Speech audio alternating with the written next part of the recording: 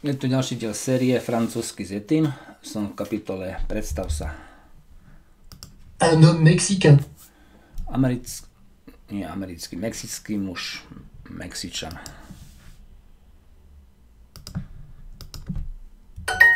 Louis est mexicain.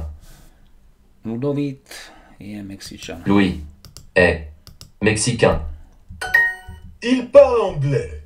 On hovorí po anglicky.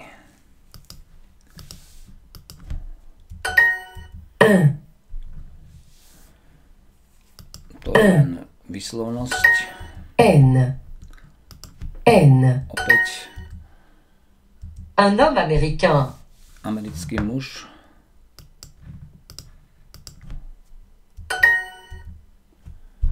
Američan. Américain.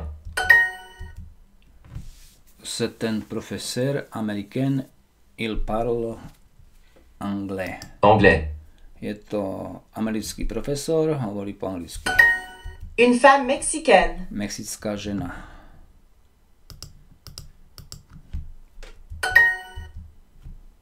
Excusez-moi, ty parles anglais? Prepačte mi, hovoríš anglicky?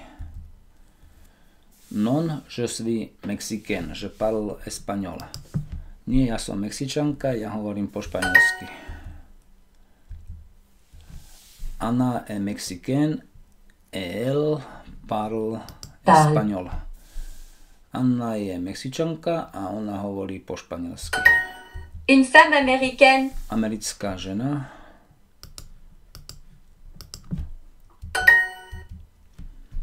Ja, Je. on, Il. Mexičan Mexicain. a Et. ty. Americké dievča. Une. Américaine. Fille américaine.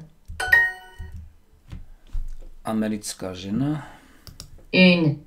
Femme. Américaine. Američanka. Perfektne.